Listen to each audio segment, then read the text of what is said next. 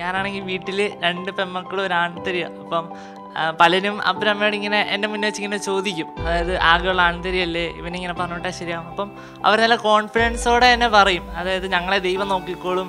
അവൻ പൊക്കോട്ടെ. അത് നല്ല കാര്യമല്ലേ? എന്നൊക്കെ. അപ്പം അവരുടെ ഇങ്ങനെ ഓരോ കോൺഫിഡൻസും ഇതൊക്കെ കണ്ട് എനിക്കത് ഇപ്പോഴും തുടരാൻ പറ്റുന്നുണ്ട്. ഇപ്പം ഇടയ്ക്കാണെങ്കിൽ പോലും ഓരോ തവണയും പറ്റാതെ വരുമ്പോൾ അവർ പ്രാർത്ഥിക്കുന്നുണ്ട്. നീയും പ്രാർത്ഥിക്കണം എന്നൊക്കെ പറഞ്ഞ ഓരോ നല്ല പ്രോത്സാഹനവും. അങ്ങനെ മാതാപിതാക്കളുടെ ഒരു പ്രോത്സാഹനവും. പിന്നെ അതോടൊപ്പം തന്നെ എനിക്ക് നമ്മൾ ഈ ഇടവകയിലൊക്കെ ചെല്ലുമ്പം ഈ ഓരോ അമ്മച്ചിമാരൊക്കെ അടുത്ത് വന്നിട്ട് ഇങ്ങനെ പറയും മോൻ ഞങ്ങൾക്ക് വേണ്ടി പ്രാർത്ഥിക്കണം. ചെമ്മാശനാവാൻ പോകുന്നതല്ലേ? അതൊക്കെ ഇങ്ങനെ ഓരോന്നൊക്കെ പറയുമ്പം എന്താ പറയുക നമ്മൾ ഒരു പൗരോഹിത്യത്തിനൊക്കെ കൂടുതലും ആ ഒരു പ്രാധാന്യം മനസ്സിലാക്കി നമുക്ക് തുടരാനൊക്കെ സാധിക്കും. എന്റെ മാതാപിതാക്കളെ തന്നെയാണ് ഏറ്റവും കൂടുതൽ പ്രോത്സാഹിപ്പിച്ചിട്ടുള്ളത്. അവരാണെങ്കിൽ ഞാനിങ്ങനെ ഒരു ആശയം അല്ലെങ്കിൽ ഒരു ഇഷ്ടം പറഞ്ഞപ്പോൾ അവരത് സീരിയസ് ആയിട്ട് തന്നെ അങ്ങ് എടുത്തു.